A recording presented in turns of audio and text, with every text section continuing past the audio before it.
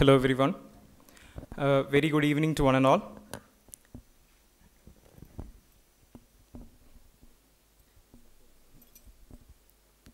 First of all, apologies for the slight delay.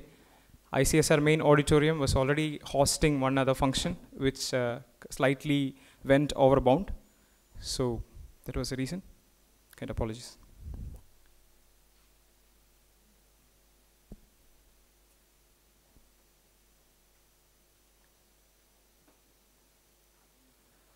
So, first of all, I'd like to welcome all the dignitaries on the dais, our chief guest, Mishra sir, and the presider, Arul sir. Please, sir.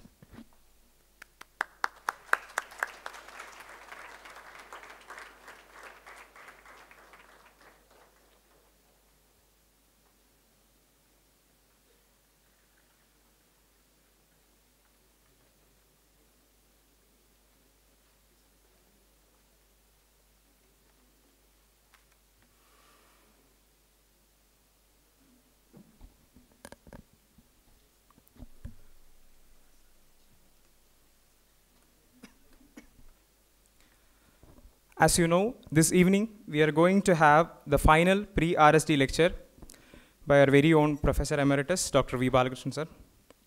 But before that, on behalf of Team RSD, I would like to thank every one of you, uh, we'll call it Instigenta, for the warmth, participation, and appreciation you have shown to the onset of RSD, and hope to enjoy the same for the coming two days as well.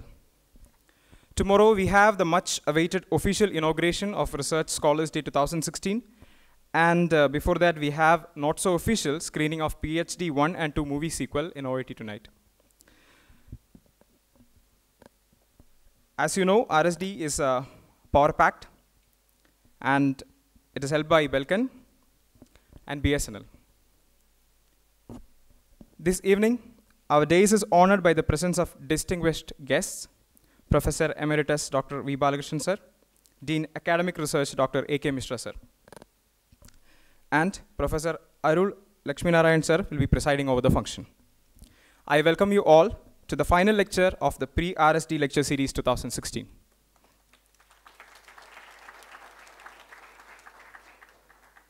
Our speaker today is a popular and noted teacher of physics, known for his engaging teaching style, which combines physical insight mathematical rigor, and wry wit.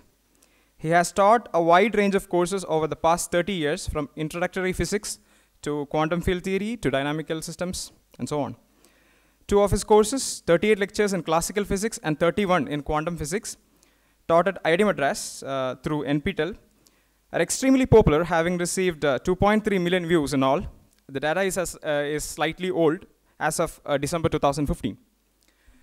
To mention his alma mater, uh, he received his PhD from Brandeis University in 1970. After a decade at TIFR and IGCAR Kalpakkam, he joined IIT Madras as a professor of physics in 1980.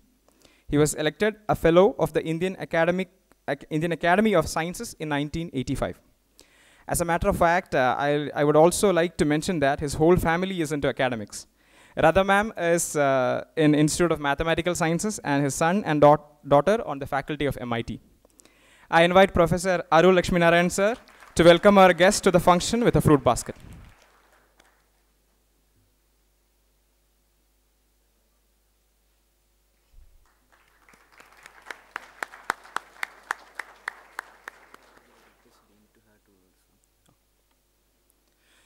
Since the, sorry, since the inception of RSD 2016, there was a prof in IIT Madras who gave us courage hope, and freedom to think beyond, innovate, and expand. Team RSD need not welcome him separately. He always is a part of this team as an experienced mentor. Still, to honor the dice, I welcome our Dean Academic Research, Professor A.K. Mishra sir, to the function and request him to take the podium. Sir, please.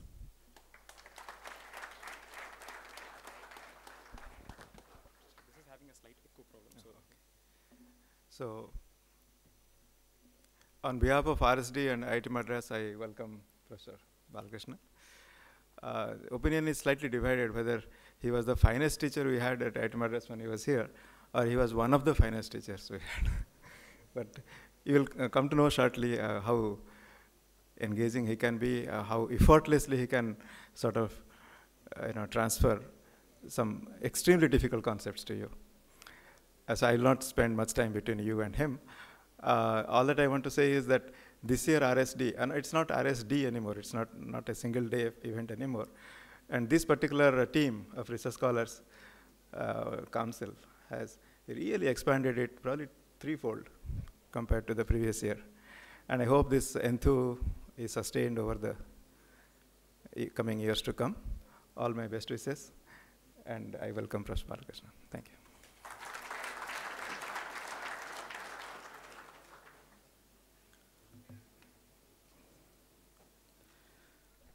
Professor Arul Lakshminarayan sir from our physics department is presiding over today's function.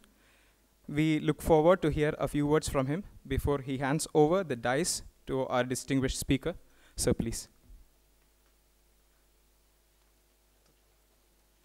Good evening, everyone. It's a great pleasure for me to be here and to welcome Professor Bal Balakrishnan. Um, Balki, as he is very popularly known, I should say that uh, it goes back nearly 20 years because I was once a student here around 1986, 1987, I think.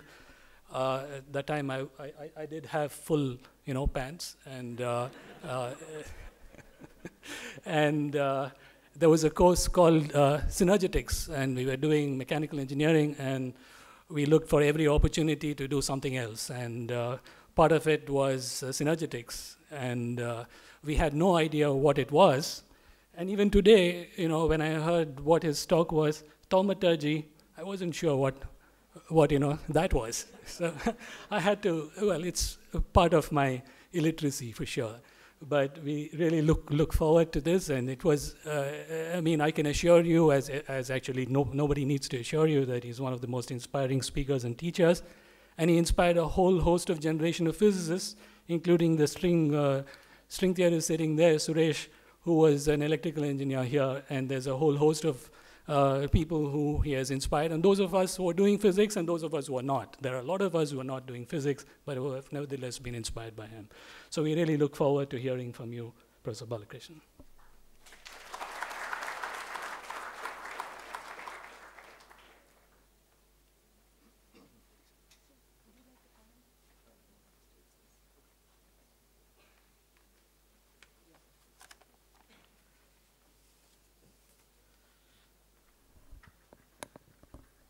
I brought notes just to be careful about what I say. I tend to get carried away. Thank you very much, uh, Professor Mishra, Arul, the organizers of uh, this wonderful event, RSD. I'm really honored to have been chosen to speak to this audience today. And I had no idea that it's uh, such a professionally run event that I just thought it's a few research scholars to whom I talk informally, chat over a cup of tea or something like that. Uh, but then when I was told that it is a lecture, they were printing a poster and so on, I became a little more cautious and thought immediately that I should suggest a title whose meaning nobody understood. Uh, which gave, borrowed, which gave me some time to figure out what to speak about. But before I do that, let me speak about an earlier, even earlier story, since uh, this whole thing will be like one of these uh, mm, uh, story within a story within a story, Panchatantra stories. So at some stage, we will fill all the right-hand side brackets and call end to it. Otherwise, an error message will flash. Uh, first, about synergy before thaumaturgy. Uh, the reason I called it synergetics was because in those days, um, the subject of complex systems was just about starting. Today we know that there is a subject called complex systems, distinguished mainly by the fact that no one knows what it's about. But in those days, uh, Hermann Haken chose the word synergetics because he figured it was sufficiently mystifying so that nobody would question what it was.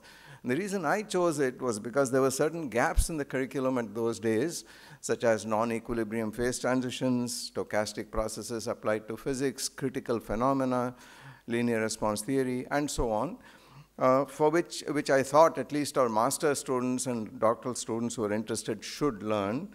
But at the same time, I discovered that the process of getting anything approved as a formal course was quite tedious. It had to go through many committees and so on. And I decided that I would not in one lifetime be able to put four or five courses through these committees. So I put them all together into one syllabus and presented it. The DCC passed it, the BAC passed it, the Senate in its wisdom also passed it, and nobody stopped to inquire how these different, apparently different things were all sitting in the same course number. And after that, I gave this course for several years, Mm, the full knowledge that I'd never be able to complete the syllabus. And part of the wonderful feature in IIT, the academic freedom given to teachers, is that you can do just about what you like, or not do just about what you don't like in this course. So the result was that every year I taught it, I taught a different part of it, the part that I wanted to learn, so that at the end, you know. At the end, the students, whole generation of students were left mystified, and I was left hopefully wiser.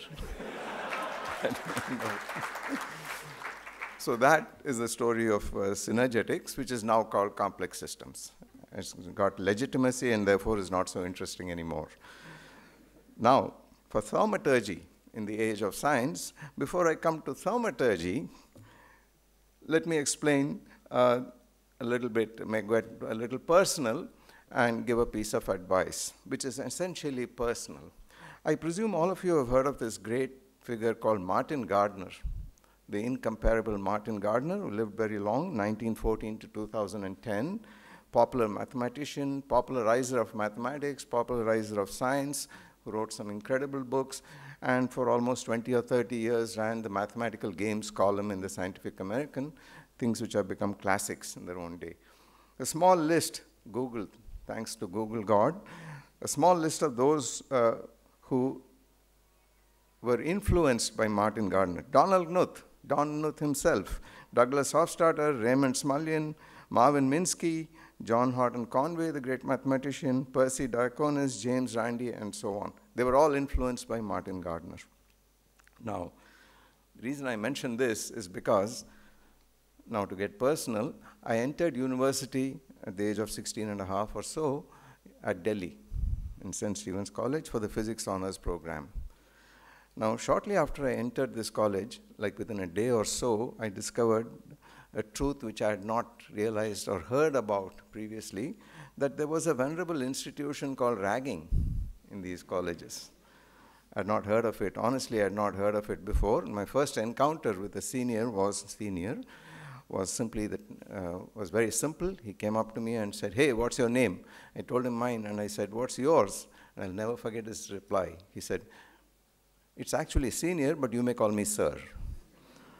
And I then realized what ragging was all about. And then, so to avoid this ragging, some of us discovered that it's convenient to escape, it was convenient to escape to a bookstore. And in those days in Delhi, there was a very famous bookstore called Atmarams in Kashmiri Gate, probably still there. And while browsing in that for good books to read, namely books on the subject of physics or whatever, and our seniors had told us you should get serious from day one.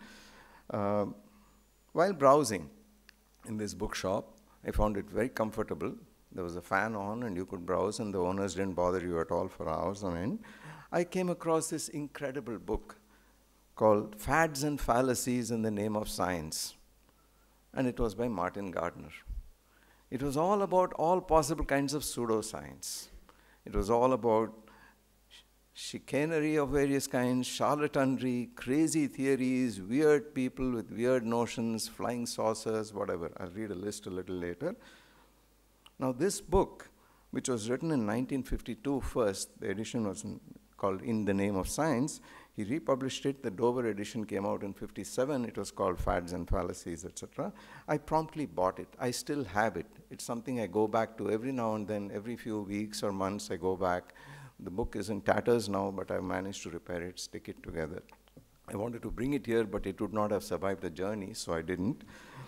Uh, this, this book had, for example, it had the debunking of, hold your hats, the flat earth theory, the hollow earth theory, dowsing rods and water divining, pyramidology, anti Einstein tirades, of course, disproving relativity, disproving Newton himself earlier, anti gravity, of course, lost continents like Atlantis, flying saucers, creationism, a number of medical cults and quacks, food faddists of various kinds, orgonomy, Dianetics, general semantics, ESP, telekinesis, telepathy, etc., etc., etc.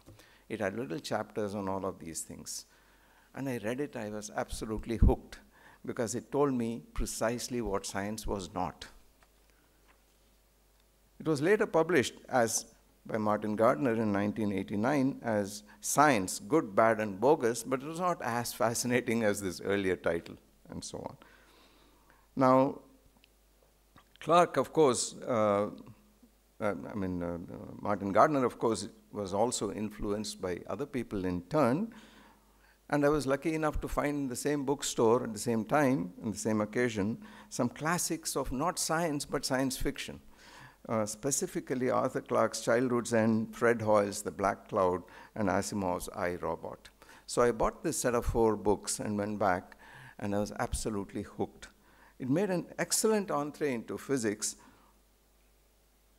math, and science because it helps separate the real from the unreal. I highly recommend this to all students. When you want to learn a subject, first learn what it's not. It's a great way to understand what's real and what's not real. So, this uh, little introduction helped me figure out how to separate the wheat from the chaff, a lesson I haven't forgotten at all. Because most of us learn a subject by starting from the ground up and finding out what it is. And then we're never sure of something whether it belongs to this subject or it doesn't, but it's very helpful to find out what doesn't belong to the subject. And you develop a very healthy sense of skepticism, which is very healthy and very good. And also helps you later on from falling into all sorts of delusions and illusions. And that's going to be the subject of today's talk for you. Now, for the title of this talk Thaumaturgy the dictionary meaning is the performance or the ability to perform magic and or miracles. Well what does it have to do with science at all? It shouldn't even be in the same room as science of course you'd say. It should belong to history or preferably to prehistory. But sadly it doesn't. Hence this talk because it certainly permeates all around us it's permeated everything. Let's first look in a systematic way, again thanks to Google God, let's look at the various synonyms of thaumaturgy. What are all the things? Without any prejudgment about thaumaturgy, let's look at all the synonyms. Quite an impressive list. In Roget's Thesaurus 2013 edition, there are actually 57 of these synonyms. That means essentially the same thing. As you know, synonym means essentially more or less the same meaning. These include and very interesting list. Abracadabra,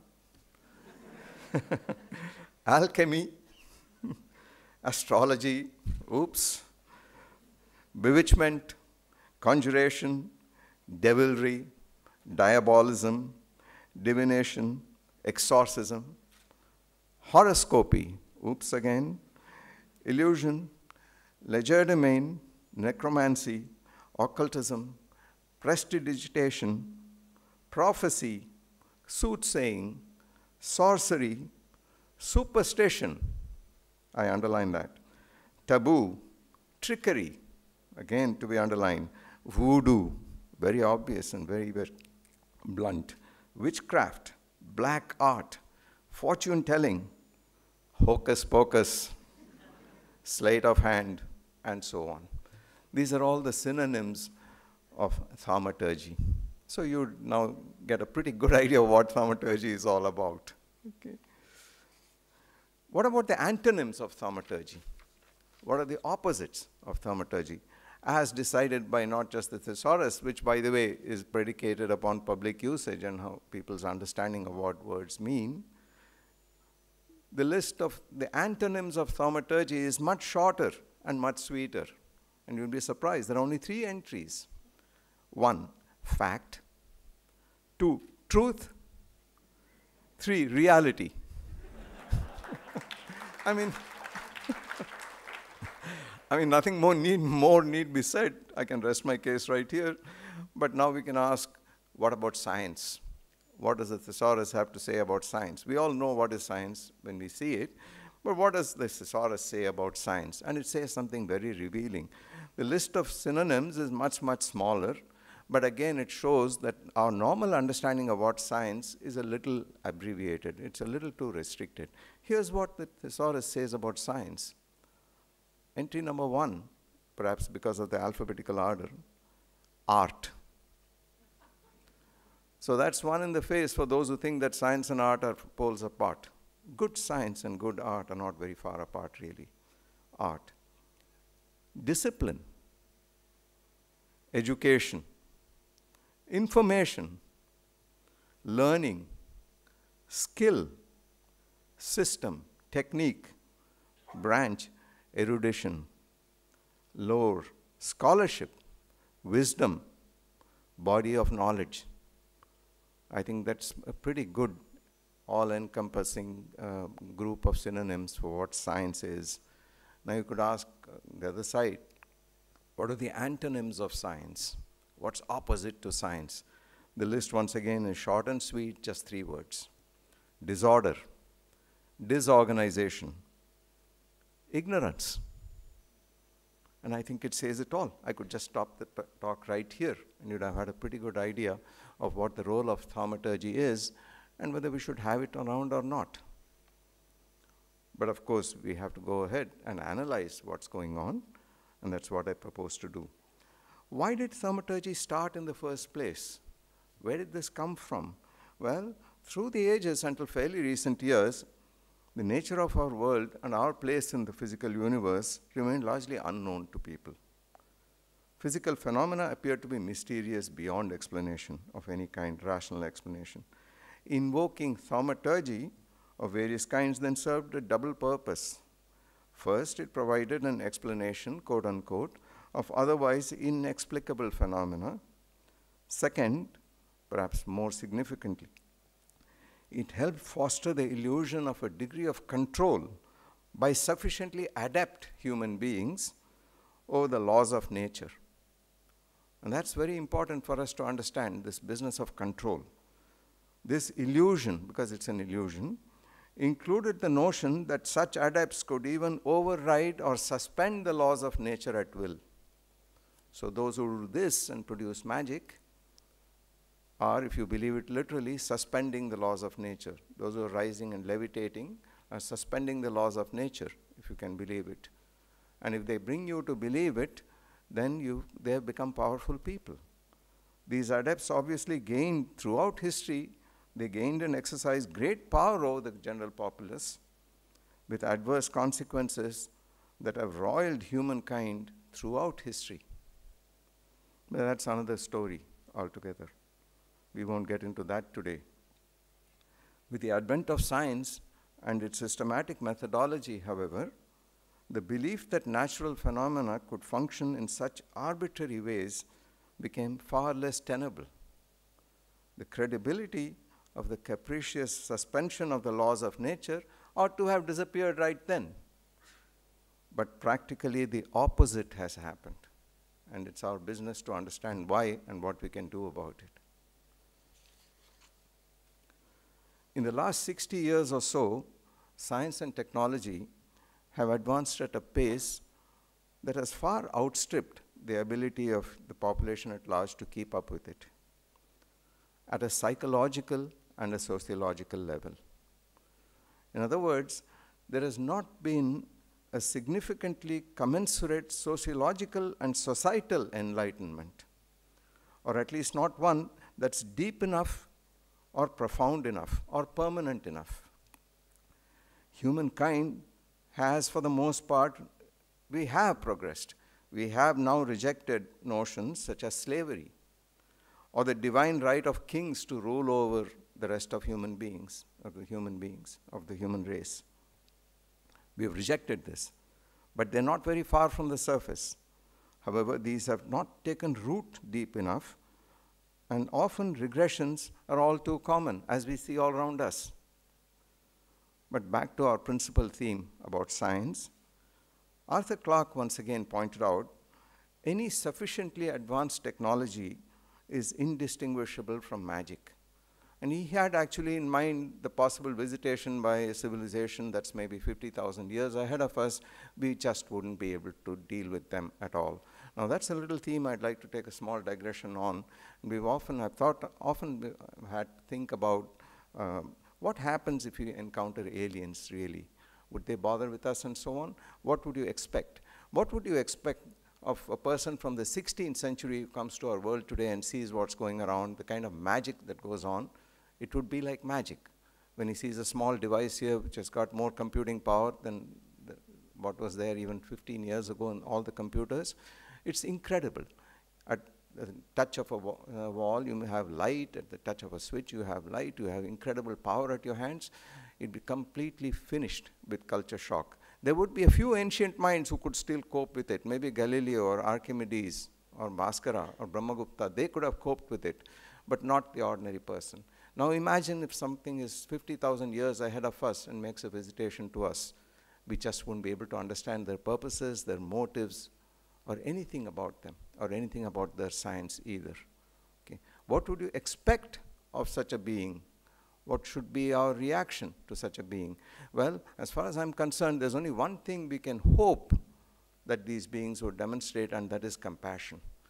The same sort of compassion that we would demonstrate towards an ant, which, if it could speak, asked you, Would you please not step on me? You'd certainly move your foot to oblige. Perhaps that's the best we can expect. So it's a good, humbling thought to keep that in mind, to realize that whatever progress we've made, uh, it's marginal so far. We're just beginning, and there, are, there may be entities in the universe far ahead of us. We need to keep that in mind. But to get back to our uh, theme again, perhaps because of the human tendency to accept magic unquestioningly, the most sophisticated devices are now taken for granted by everybody.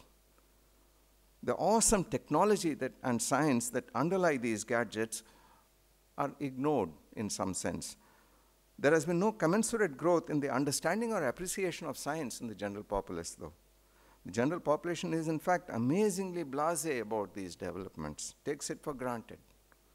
Nor has there been any downturn in the belief that in thaumaturgy, Thaumaturgy is alive and well. Again, perhaps because of an innate human yearning for magic of various kinds.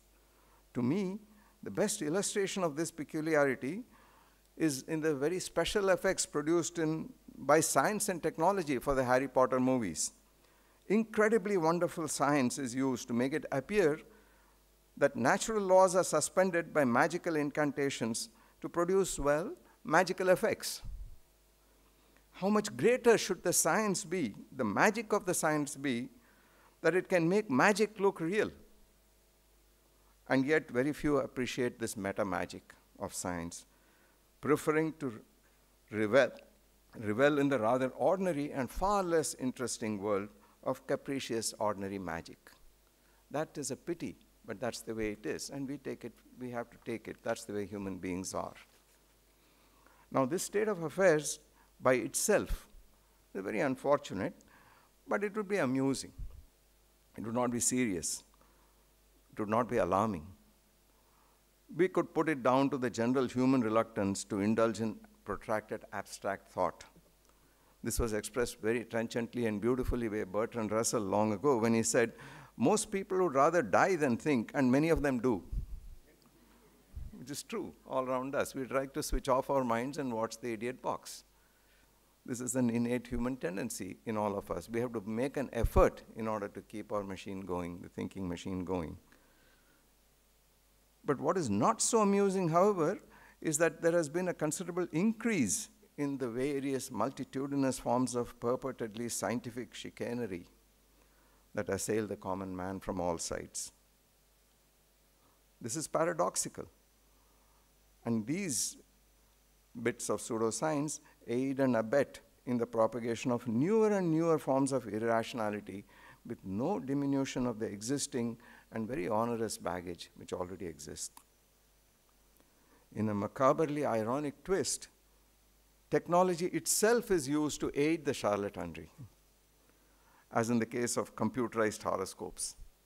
Of all the uses that you can put a computer to, horoscopes and it's called computerized horoscopes, and somehow it makes it more reliable because it's got a computer running through the possibilities.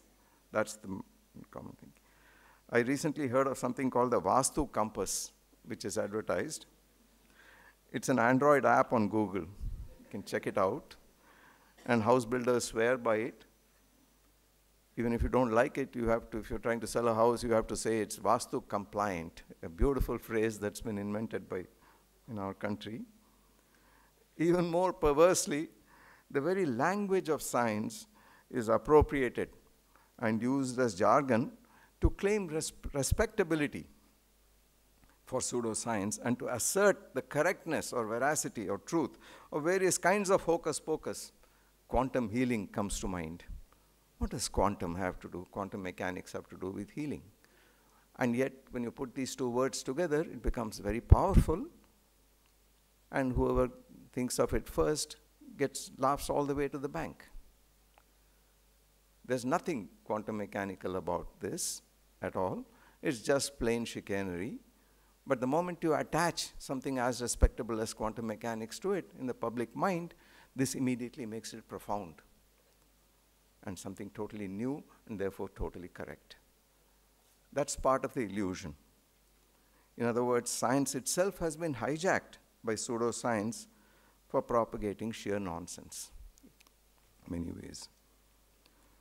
Now, this again would be something we could laugh about, but as we all know, very harmful and adverse effects sometimes ensue. We all know about cases where extremely harmful effects have arisen from the fact that horoscopes are matched in a particular way, lives have been broken, families have been shattered, and so on, due to belief in astrology, due to belief in other forms of uh, pseudo, apparently scientific, pseudo scientific nonsense.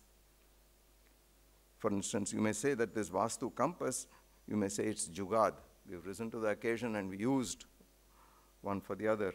But actually, to me, it's a travesty and a slap in the face of rationality. What's the underlying reason for all this, for all this state of affairs? I'm not a psychologist, and here now I enter into the realm of pure speculation, and you probably will disagree with me. I'm not a psychologist, but I have thought a little bit about it, watching people and so on. I do know that it seems to be a manifestation of another very peculiarly human trait, which is selective blindness, or what I call cherry picked rational thinking. In other words, there's an incredible dichotomy of thought in most people's minds. That's an intellectual feat by itself that you can keep these two compartments separated in your mind without any connection whatsoever. The ability to keep things apart in compartments in your mind is not to be sneezed at. I'm very reminded of the theme of Hoyle's Black Cloud, the, the Black Cloud. Let me just spend a couple of minutes and tell you what it is. This has to do, it's a science fiction story. It had to do with the advent of a black cloud, an enormous black cloud from interstellar space, which comes to the vicinity of the Earth. And through radio messages and so on, they soon discovered that this is an intelligent cloud. There's actually, it's intelligent life. And it's amazed that there are human beings on a solid object like a planet. Okay.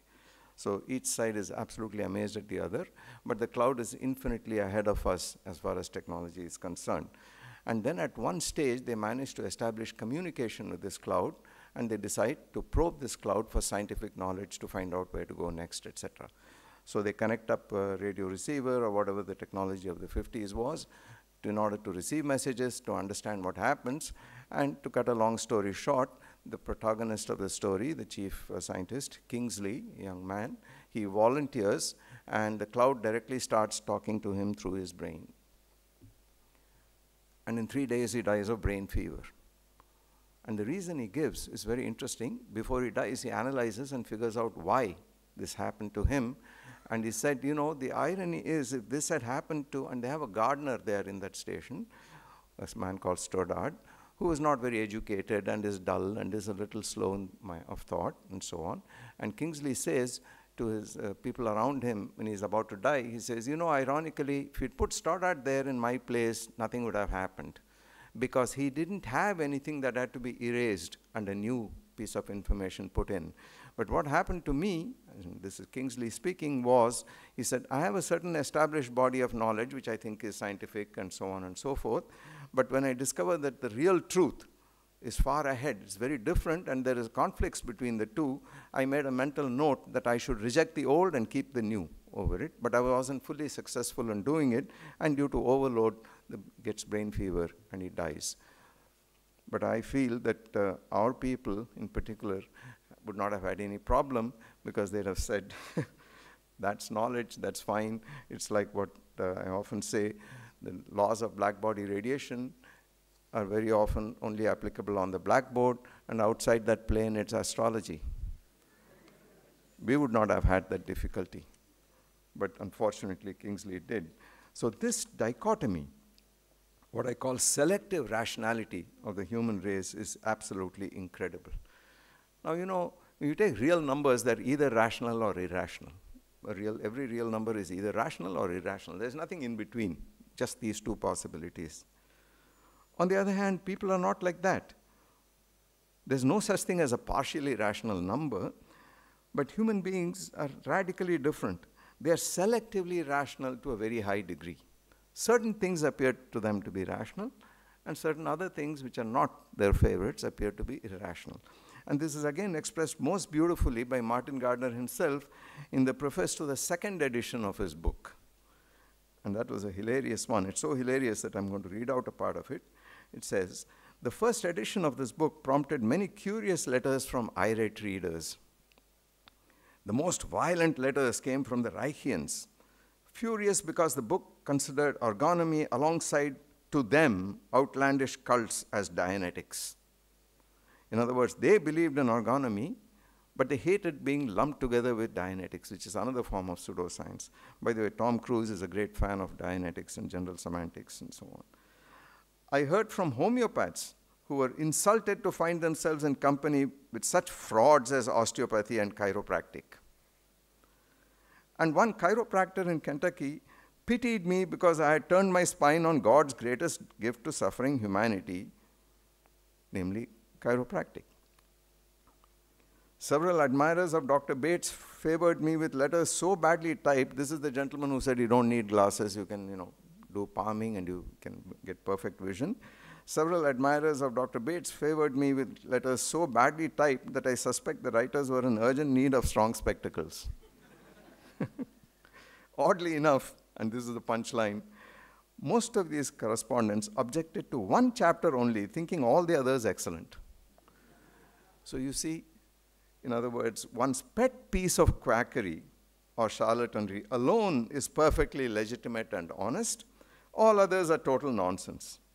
Haven't we all heard this? Haven't we all heard say, all these other medical fads are quackery, but now take, and now fill in the blank. It could be your own medical fad, X or Y or Z, I'm not going to name. It could be naturopathy, homeopathy, whatever. It's absolutely and totally true and genuine. Why? Proof, it cured my aunt's asthma.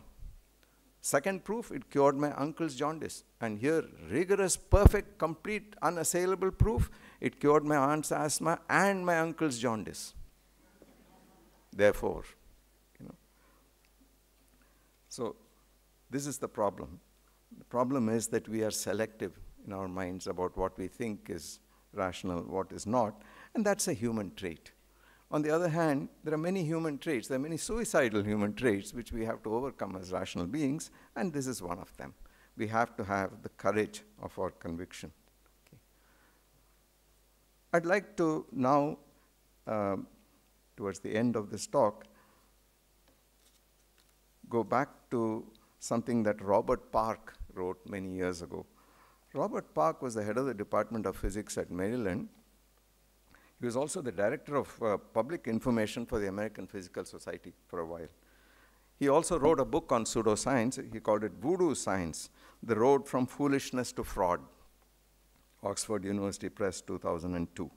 And in the Chronicle of Higher Education in 2003, January 2003, he wrote this small, short piece called Seven Warning Signs of Bogus Science and I think they're beautiful, so we should know this. He wrote this because there were Supreme Court cases at that time about What to do about testimony from quote unquote scientific experts which conflicted? What should the judges decide? What should they do? Then finally, the, one of the recommendations was they should get a bunch of the Supreme Court said of the US said that get your own bunch of experts who are neutral and take their opinion, etc., etc. Whatever it is, that doesn't concern us.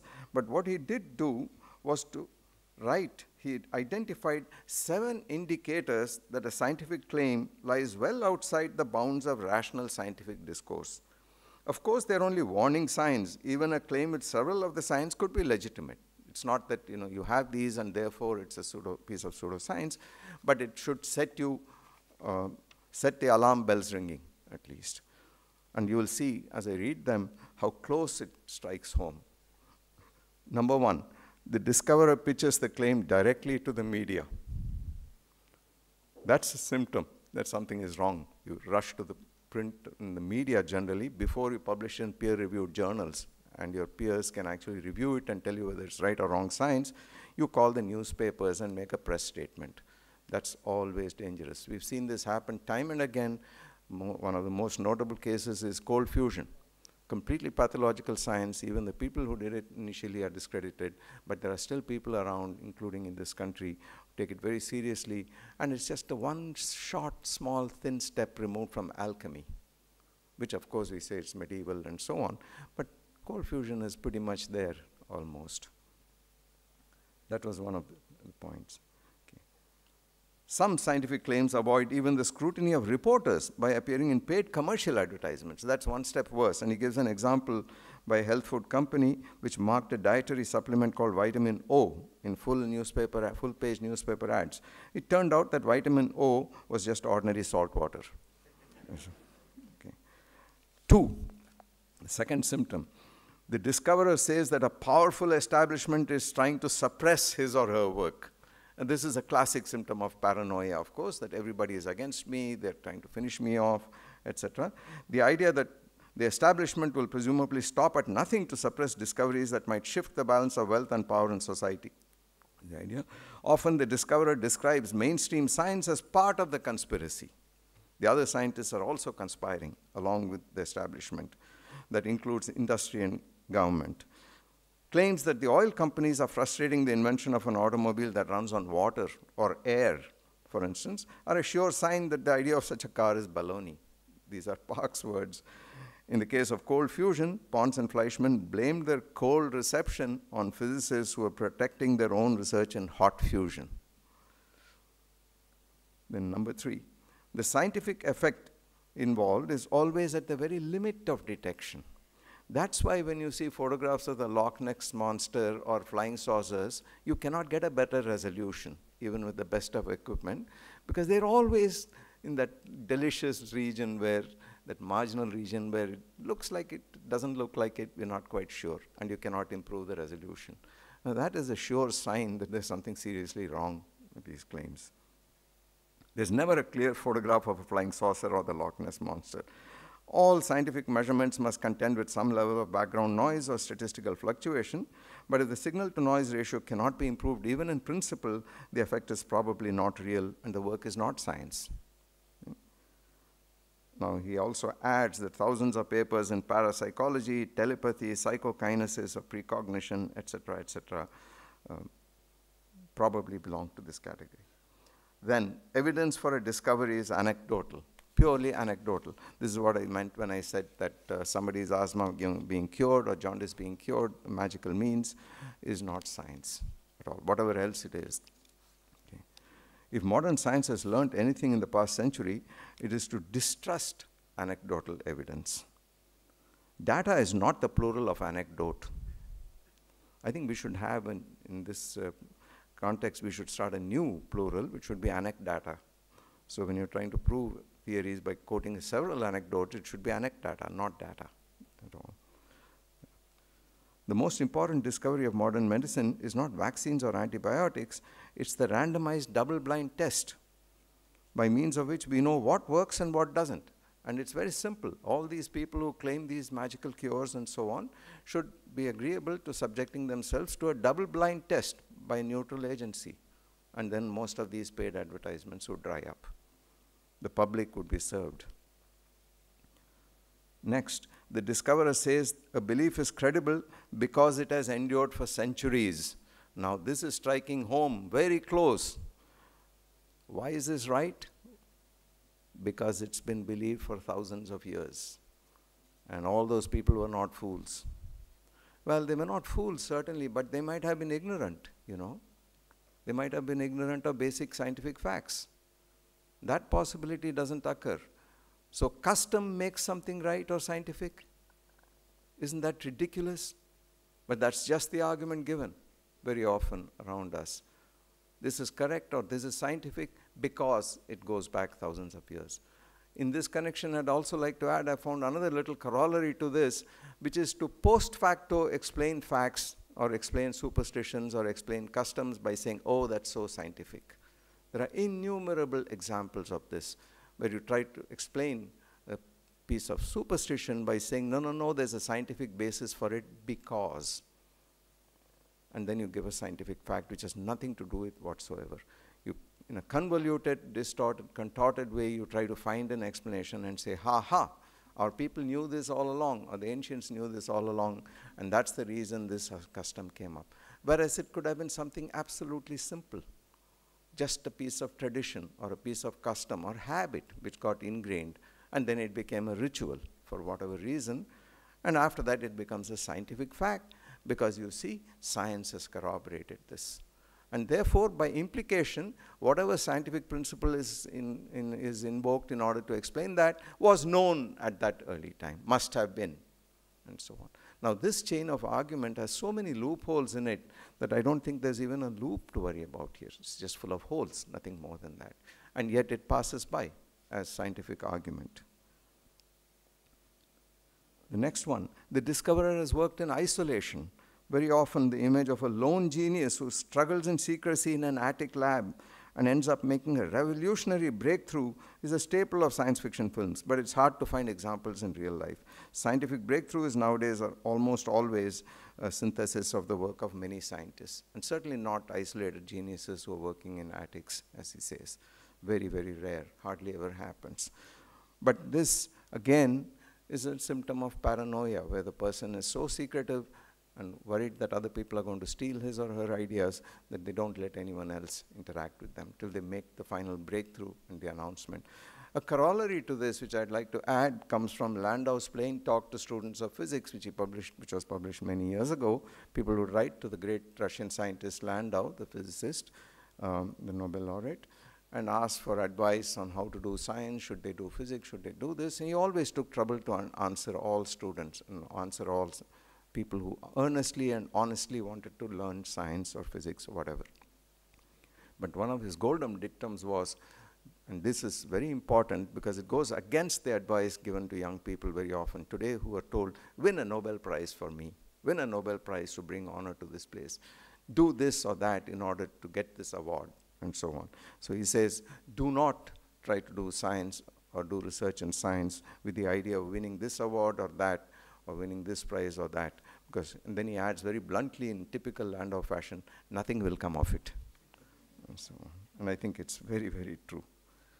And finally, the last of Parks's uh, cautions is the discoverer must propose new laws of nature to explain an observation. A new law of nature invoked to explain some extraordinary result must not conflict with what is already known. It's obvious. If we must change existing laws of nature or propose new laws to account for an observation, it's almost certainly wrong. That's for sure, this is obvious. Now, Parks adds, he says, he began this list of warning signs to help federal judges detect scientific nonsense, but he says, as I finalized the list, I realized that in our increasingly technological society, and this applies to us directly, Spotting voodoo science is a skill that every citizen should develop. Above all, people who are engaged in research in science itself. They ought to be, above all, first and foremost, the front rank of soldiers, the vanguard in the fight in spotting and discouraging pseudoscience from reaching the public and misguiding them. So I've come to the end of what I wanted to say. A final word one of the subtitles of uh, Arthur Clarke's uh, one, the subtitle of Martin Gardner's book was interesting. I have it here somewhere.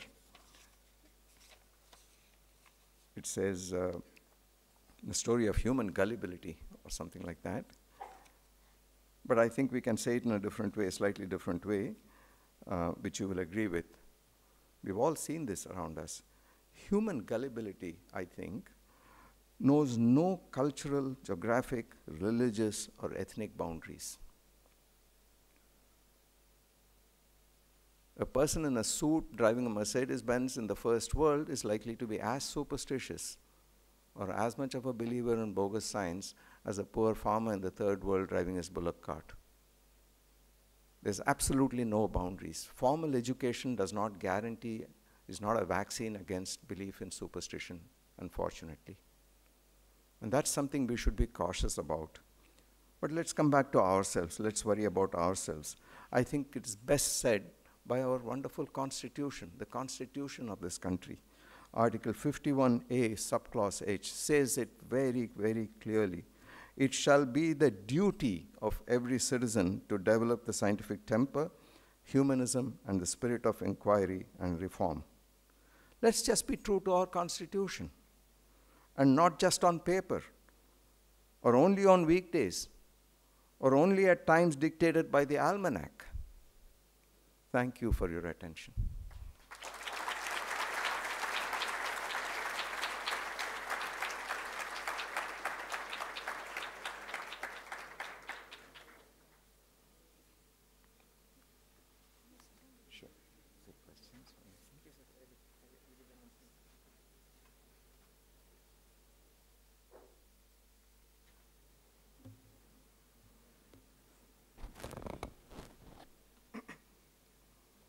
Sir, uh, the title Thaumaturgy did kindle my curiosity, and uh, I asked the Google God too.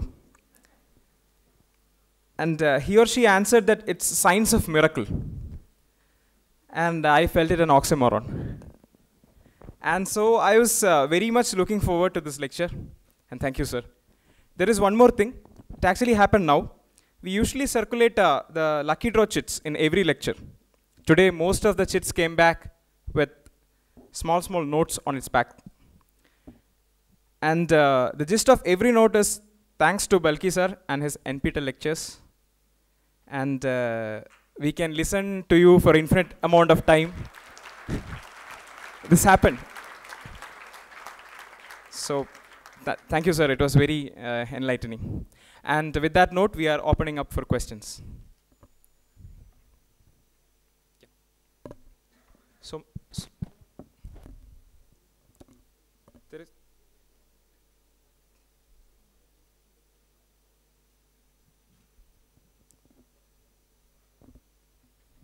Thank you for the inspiring talk, sir. I'm Karthik.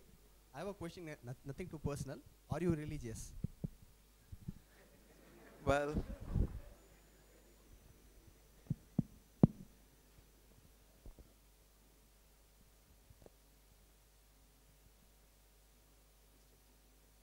can you hear me? Can you hear me? You know, part of uh, preparing a lecture for course or anything else is to try and uh, put yourself in the shoes of the audience and um, try to figure out what could be possible questions and so on. Now, when I started uh, thinking about this talk, I realized very early on that the first question I'm going to be asked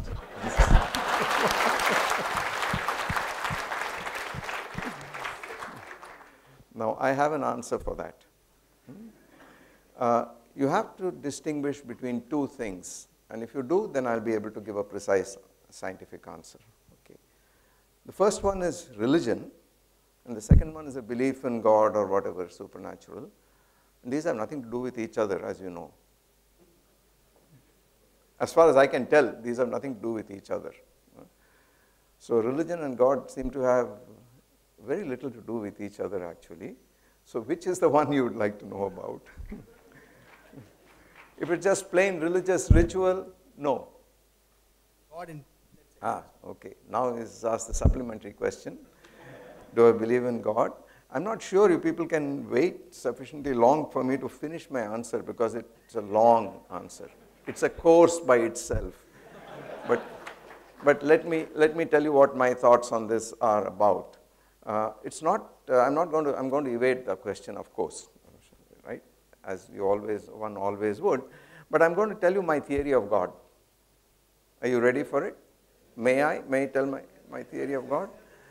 I think God is a point executing Brownian motion on the positive number line.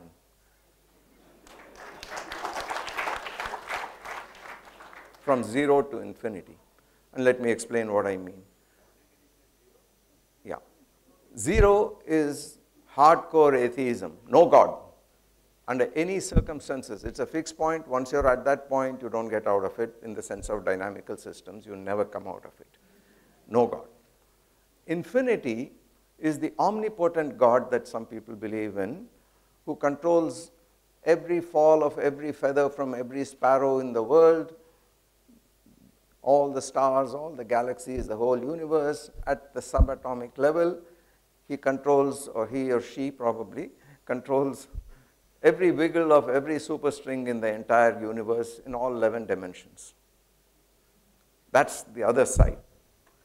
For most people, however, God is executing Brownian motion somewhere in the middle, random motion. And it's a God of convenience.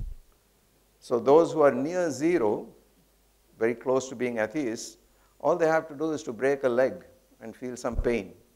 And immediately they travel further up the real axis.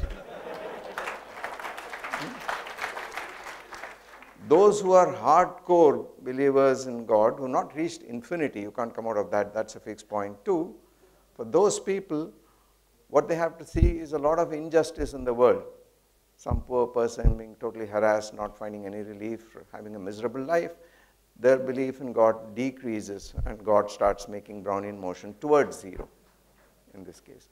So you see, in an individual's life, the God is really a point which is executing oscillations depending very drastically in a very nonlinear fashion on one state of mind. And I think that's true of most people when you search for it honestly. So except for those who are stuck at this point, fixed point, nothing will change their belief, and who are stuck at the other fixed point. For most others, it's a crutch. It's a very comfortable crutch.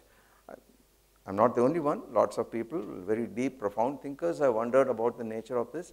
But to me, there are two mysteries in this universe. Why is it that mathematics is playing such a big role in understanding the structure of the universe? We don't know. That's a big mystery. And the second one is why do why does this particular form of intelligent life? We, I am I'm sort of being a presumption here that we are intelligent. This why is, does this particular form of intelligent life need this psychological crutch called God? Subrahmanyan Chandrasekhar said that the greatest invention, not discovery, invention of humanity was God. He actually said religion. So one has often wondered about it at this stage. So I think most of us are in the oscillatory state, somewhere in between. As for religion, organized religion, now, I'm not saying anything here about God, mind you. This is a very different thing, organized religion. I uh, feel that I, I'm not competent to quote on, uh, to talk about this subject at all. But what has struck me is Steven Weinberg's famous quotation about religion. And he said very famously, with or without religion, good people will do good things and bad people will do bad things. But for, but, but there's a punchline. But for good people to do evil things, that takes religion.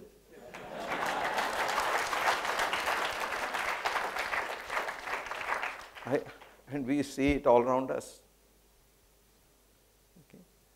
So this is, now I, as you know, I've evaded the question successfully.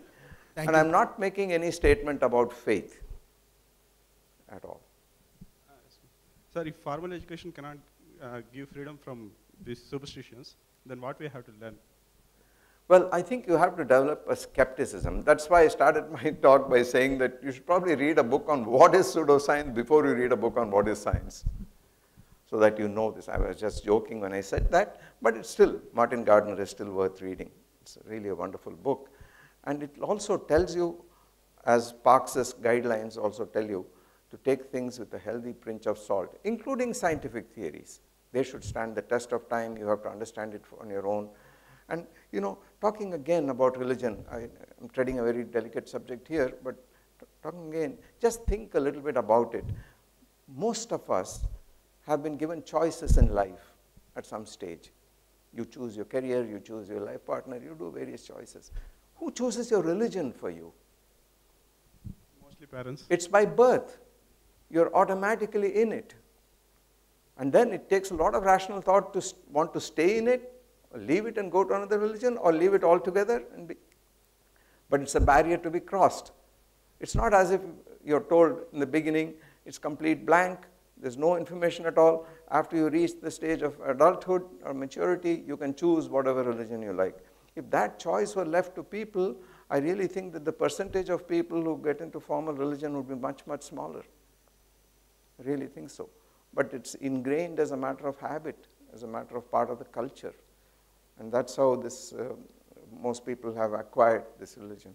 Now, what I'm saying is that the understanding of science, the understanding of what is scientific, what's not, and so on, should be similarly ingrained in people. And it should be done at an early stage. It cannot be done by a dichotomy of thinking on the part of the adults who would say, all this is fine, but now let's look at the daily horoscope to see what you have. As the child is. I've seen this happen with my own eyes. You have astronomers who are perfectly willing to do solar astronomy, and then they would like to take a cleansing bath after the eclipse is over. That's dichotomy of thought. And that's not good because the younger generation is watching you. And they need to know that uh, you have courage of conviction in science. Of course, the next question to that will be your science, it's not my science, but you're always told, your science doesn't know everything. Of course it doesn't. If it did, we'd all be out of jobs. I'm glad it doesn't. But it is self correcting. And it's willing to get amend itself. It's willing to throw out the old and bring in the new.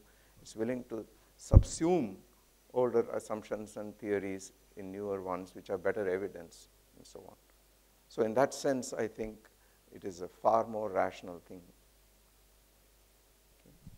what if uh, our parents believe that superstitions and uh, we learn this, we know that is Well, one thing I can say is that in our individual lives, we should resist the imposition of superstition on us very often. I've very, very often heard this being said that, well, I don't believe in this stuff and that stuff, I know it's superstition, but you know, my old folks, they're believers, and to satisfy them, I'm going ahead with it just as a matter of routine. I don't believe in all this stuff and so on.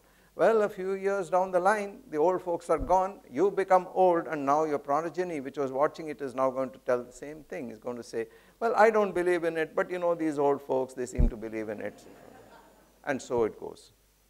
I think it's got to stop somewhere. Actually, I have a little more practical kind of question.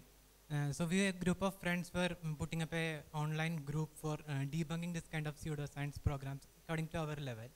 So one problem that we came up with is that when somebody came up with a uh, pseudoscience, pseudoscience-like uh, argument that they can do something like this, the problem that we face is we need a lot of research and a lot of understanding to debunk this thing. But they need just one or two days to put up a client. So uh, from your experience, uh, can you give us some suggestions that in what way we should proceed to debunk this kind of a pseudoscience? It's a good question. It's very hard to do this when people's minds are set very rigidly for whatever reason. They have emotional reasons for believing in certain things which are complete, which they themselves probably deep inside know are irrational. It's extremely hard to convince somebody or to convert somebody to rationalism because that is practically an impossible task in adulthood for adults. However, one has to keep trying. And the best way to do this is to do it by example. One, one's own life should not have these dichotomies. They should, be, they should be completely clear. We should not subscribe to superstition or superstitious practices, what are obviously superstition or superstitious practices. Now, we can have questions as to whether this is superstition or that is superstition. That's a different matter. But there are many ones, many cases which are quite distinguishable, which are very obvious as superstitions, and there's no reason why one should aid and abet in this. At least in one's private life, one should stop doing that. One should certainly set an example, and one should not stop trying. But it's very hard Sometimes you end up just preaching to the choir, which already knows what you are, uh, or agrees with your views. But it is it's difficult to do this to adults who are set in their ways, where egos are involved, where egos are easily bruised, and people get insulted by these things.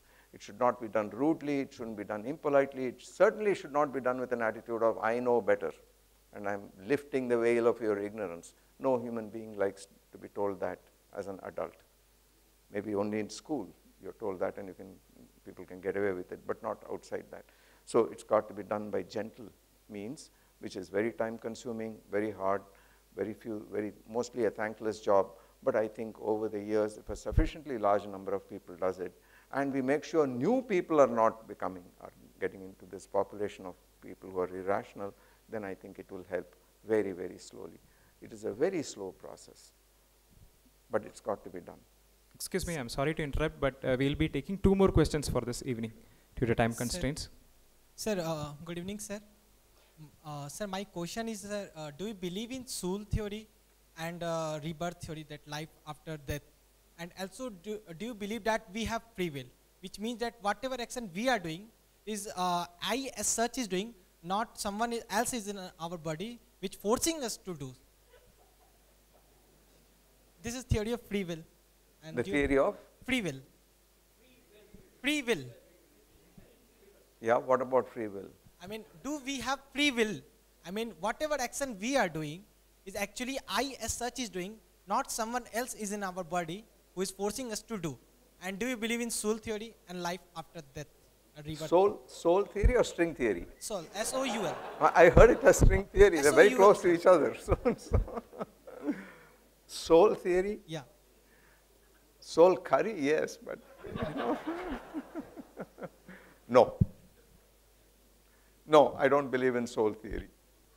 Um, I, I must say right away that I don't know what soul theory is very well, but it doesn't sound right to me. Sir, uh, we have a uh, course called research methodology. Uh, Yeah. That research methodology, is, strictly speaking, says tells us the method how to do research. So it also tells us what research is. Where it tells us what is the steps and how to choose your guide, all those things. It's a full course, one uh, one semester course, but it doesn't tell us what is science. Like you said, it doesn't tell us what science is not, or like uh, like if we consider our, our institute itself or people here like more than 70% of the people don't understand what is science or don't understand what is not science. Do you think that we should have a course like that? Or like you said should we read it ourselves uh, the books that you suggested? Uh, should, should i think uh, a course like that is absolutely necessary even if you are not a researcher simply because you said that uh, it's written in our constitution that uh, it is a, our duty to f- have a scientific temper Well, a course in research methodology has nothing to do with this because that's telling you the methodology, the mechanism of research, what's involved in research, what's meant by citation, what do you do literature survey, what are scientific ethics, what's plagiarism. As I understand, those are the hardcore nitty gritty, the nuts and bolts of what research is all about. Now you're talking about an abstract subject as to what is science, what's not science, and so on. I don't think those can be taught in courses. I don't think taught in courses with exams and marks for, you know, it's, it's just not the sort of thing which uh, can be taught in courses. Now, what I would like to say is that uh, all research scholars, even though it is very difficult, are many research scholars here, so it's a very tough part time of your life because you are, I, we've all been through it once. Um, you have to produce something original, which no one in the world has done before. So in that little epsilon of knowledge, you are really the world's number one expert, not even your guide. You are responsible for your thesis. In doing that, you have to forsake many other things, such as general reading, acquiring general knowledge, etc., etc. You have to really be focused at this time at some stage. However, a lot of peripheral reading should be done by people at some stage or the other maybe not when you're writing your thesis, when you have to be totally focused on something. But at other times, certainly I think people should do a lot more general reading. And now with uh, the internet, it's completely free. Everything is available. It's very easy to acquire information, if not knowledge. And I think people should read. They just have to read widely and diversely about all kinds of things and then learn to form their own opinions based on this reading. You should not have to be told what to do at all times. You should not have to always follow only prescribed courses. It's like what happens when people are undergraduates or when they are in school. People come and ask you, May I read this book? Can I read this book? It's not as if somebody is forbidding them. Can I read this chapter of this book? And so on. You don't need anyone's permission to do that, but we can understand young students, undergraduates or school students saying that because they'd be very happy if you tell them pages 7 to 19 you can omit because the word omit, not for exams, you can omit and so on. But life is not like that. Life doesn't have any omits in it. It's a free choice. It's your choice as to what, how much you educate yourself and so on. But a certain breadth of vision, a certain perspective on whatever you're doing, the ability to step back a little bit and get the larger picture, this is important. So one last question. I, I would just like to add one more thing. There has to be some way in which you can distinguish between real stuff and between jargon. Very often in recent years, we ask children to write biodatas and so on, uh, recommendation letters, etc., there are various phrases which are used which don't belong, at least they don't seem to me to belong to rational discourse or serve the purpose. For instance, they say that student A has lateral thinking. Does, what does that mean? That means he's lying down and looking sideways? I don't, I don't know. What is lateral thinking? Or student B is thinking out of the box. I didn't know we were living in a box, and so on. And student C has higher order thinking. What about the zeroth order to start with? So these are all pieces of jargon which people have evolved. They make no sense whatsoever. We have to have a certain scientific integrity and honesty about us. And above all, the foremost, first and foremost criterion is you should not worry about, you should not try to conceal your ignorance at all. You should wear it proudly on your sleeve like a badge so that others can correct you and can learn from others. It's a crime against yourself to conceal ignorance. You shouldn't do that under any circumstance. Till you've understood something to your satisfaction, you shouldn't let go of it, and it should bother you. I think that's, I think, if I can give some advice, that would be a true criterion of when you've learned how to do research or how to do science or any, anything for that matter. One last question. I can use the mic? Yeah, thanks. Um, Sir, uh, I was wondering, science itself has of late become more like thaumaturgy to me. Uh, the reason why I say that is, uh, if you look at uh, the gravitational wave um, ID, this was something that happened 50,000 years ago. And 1.3 billion 1.3 million years ago. And there is this gravitational wave which was traveling and we finally built the, you know, this, this device which I, you know, kind of recorded something that happened. And we had this, this uh, you know, the particle accelerator, for instance, where it could have been a boson, it could have been a Higgs boson, but we're not sure. We can only find out the effects of the boson, really. And we knew in the, in, the, in the 70s that the matter in the universe is moving apart, but we have figured out that it is accelerating and therefore, physicists have come up with a term to explain that, saying we have something called the dark matter and also the dark energy, mm-hmm. which is now about 96.5% of the universe, which means we really don't know much about what's happening in the universe. So there's this huge chunk of matter and energy that we have no clue about. So stuff like this makes even somebody who's literate in science uh, really wonder if uh, what we know is truly correct or not. Because when you said, when you gave those uh, dictums, which says, if something contradicts with what we already know, then it's probably not true. That itself sounds, you know, thaumaturgical to me. Uh, we should be absolutely be skeptical about whatever we know as well as what we don't know. So, how do you how well, do you reconcile? Yeah. First of all, the discoveries you talked about, namely the Higgs particle, the uh, discovery of gravitation, direct observation of gravitational waves and so on, do not conflict with what we already know. They, in fact, gravitational waves were predicted by Einstein himself. It was an amazing fact, but he predicted this and it took a long time. We've detected it long ago. 93 people got the Nobel Prize for indirectly detecting uh, gravitational waves uh, for, for the pulsar, uh, in the pulsar case. But uh, it's only now that we directly detected in an incredible feat of technology, the waves themselves, the echo has been detected directly. But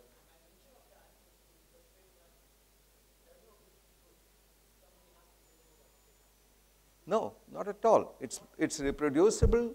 It's reproducible. People have tested it in the sense that statistical tests have been done. The theory is a very, very exquisite piece of theory. The experiment is an even more exquisite piece of Uh, cleverness, if you like, or scientific cleverness, if you like.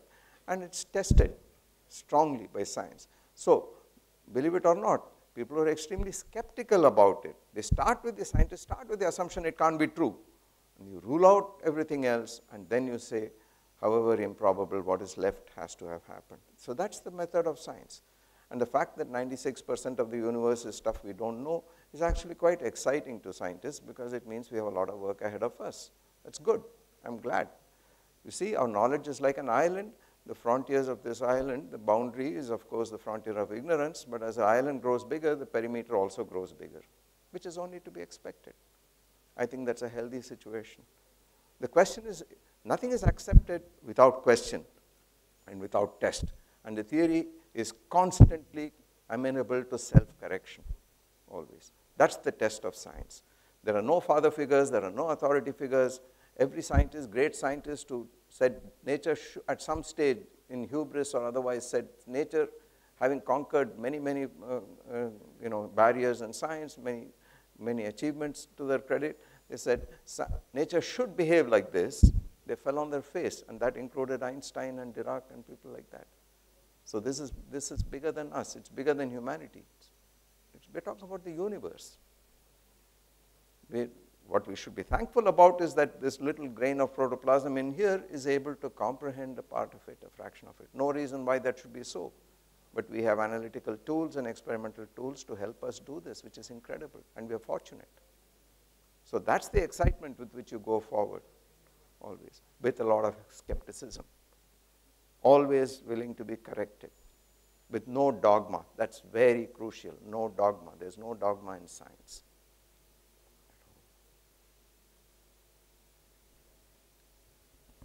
So on that note, we are, we are closing the lecture. This pre-RSD lecture was brought to you by IIT Madras and Belcan and powered by BSNL. Now I request Arul sir and A.K. Mishra sir to step on the dais.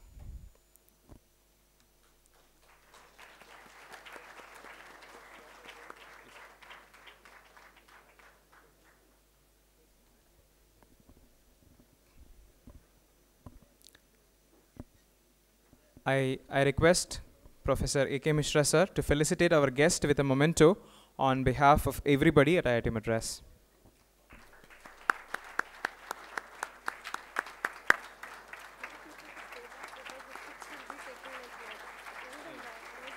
Kindly, uh, audience, please stay stay back because uh, we are uh, we are yet to have the uh, draw of the chits. So, kindly please stay back as you know, we have a lucky draw, and uh, so now uh, we'll move forward with uh, our Research Affairs Secretary Anand, handing over our token of gratitude to Mishra sir and Arul sir. It's it's an RSD T-shirt, to be precise. To mention, it is a, new color RSD T-shirt.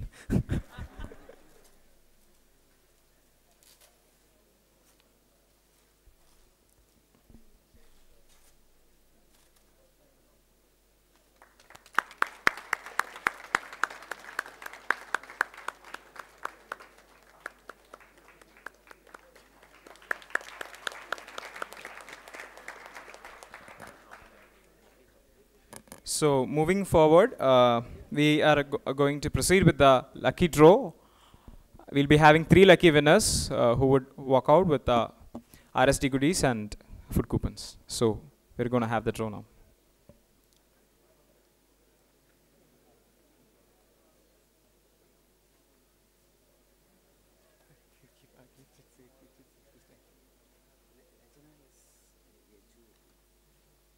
Uh, the first winner will be Rachana S. Yajur. Could you please raise your hand? so that we can. Uh, second one, Chetan Woble. Chetan Woble. Uh, third one is Ismail SK. Ismail. Ismail SK. So, uh, uh, winner, uh, winners, just please. Okay. So, winners, please uh, come here and we'll have a photo afterwards. And there is one more thing. All the winners of the pre-RSD lucky draw would be felicitated and- and the prizes will be distributed on April 10th morning. Please keep track of RSB, RSD FB page for more information. And uh, tonight we have the screening of PhD 1 and 2 sequel in OAT at 8 p.m. So, see you there. Thank you. Team RSD shall stay back in the auditorium. From today onwards, in the front of ICSR, we are putting up food stalls, which would also uh, be a treat for your taste buds. So, thank you. Please, please enjoy. Team RSD shall stay back in the auditorium. Audience.